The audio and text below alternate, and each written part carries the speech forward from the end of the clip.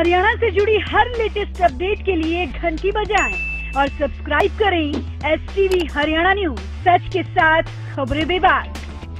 प्रदेश के जन स्वास्थ्य मंत्री डॉक्टर बनवारी लाल ने रेवाड़ी के बावल हल्के के गाँव खंडोड़ा में और नांगल गोढ़ा में दौरा किया।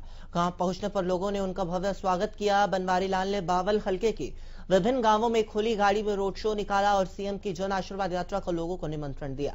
इस दौरान उन्होंने खंडोड़ा गाँव में एक करोड़ रुपए की कीमत की लागत से निर्मित विभिन्न विकास कार्यों का उद्घाटन किया और साथ विकास कार्यों के लिए 30 लाख रुपए देने की घोषणा करी। तो वहीं गाँव नंगली गोधा में भी 20 लाख रुपए के विकास कार्य और छिहत्तर लाख रुपए की पेयजल स्कीम और परियोजना का उद्घाटन किया और 10 लाख रुपए विकास कार्यों के लिए देने की घोषणा भी की गई। तो वहीं लोगों को संबोधित करते हुए उन्होंने विभाग और सरकार की उपलब्धियों के बारे में लोगों को बताया है और इकतीस अगस्त को बावल में सीएम की जन आशीर्वाद यात्रा कार्यक्रम में अधिक में अधिक संख्या में पहुँचने का आह्वान भी किया।